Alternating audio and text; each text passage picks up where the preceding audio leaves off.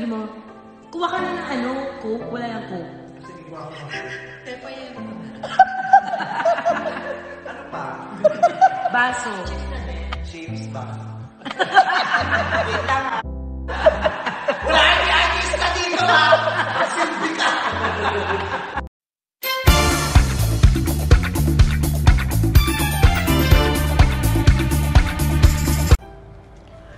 Sa latest update ng mga kaibigan ni Vice Ganda kagabi ay ipinakita nila kung paano nila pagtripan si Vice Ganda.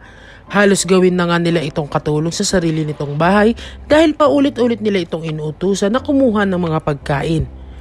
Panoorin dito ang masayang kulitan nila Vice Ganda kasama ang mga kaibigan niya. Ano gagawin mo? Kuha ka na ng ano, coke. Wala yung coke. Sige, kuha ko ng Eh, paano ko na? Pa? Baso. James ba?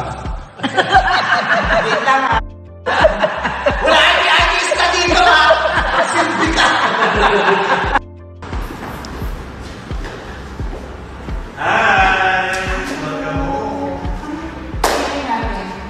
Ay, nawala na yung kabel. Ako eh. Anong muna siya? Ubusog ka! Kasi di ba Gagawin mo? Kuha ka na ng ano, coke. Wala yung coke. Sige, kuha ko ng coke. Eh, paano ko na? Ano pa? Baso. James ba? Wait lang ha. Wala ni artista dito ha! Silbi ka! Mga chips, ma'am, oh. Walang superstar. Healthy to, ma'am. Healthy options to, ma'am, ha? Ay, oy, auntie, healthy option. Beke naman. Mga mapulaan, ma'am. Bang. Wait lang, ha? Wala ni artista dito, ha? Silbi ka! Baso, sis. Bi- sis, pagdala ka baso. Ano gagawin mo? Kuha ka na ng ano, coke. Wala yung coke. Sige, kuha ko ng coke. Eh, paano ko na? Ano pa? Baso. James ba? Wait lang, ha?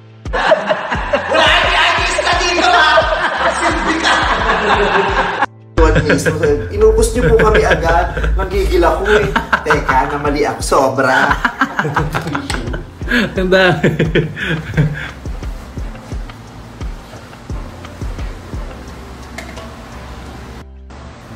Ayan, Baka maganda to sa TV. actually. Pa,